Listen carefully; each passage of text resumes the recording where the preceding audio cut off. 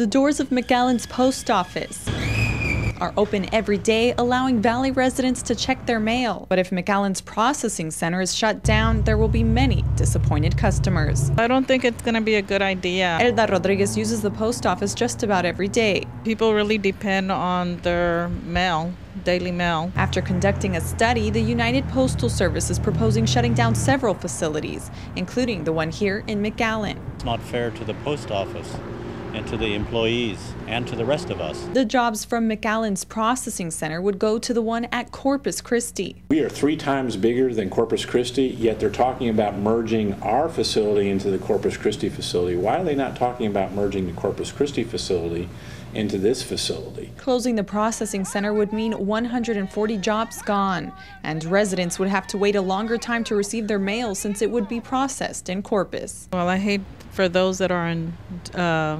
disability.